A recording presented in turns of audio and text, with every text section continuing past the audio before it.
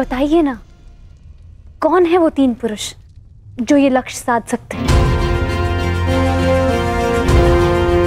पहला मैं, स्वयं।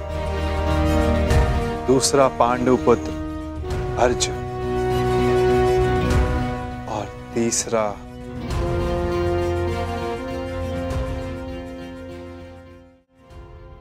मैं राधे मैंने संधान लक्ष्य देखकर ही किया आपके नेत्रों में देखकर। कदाचित तीसरे वीर के लिए मैं आपका संकेत समझ गई हूँ सका।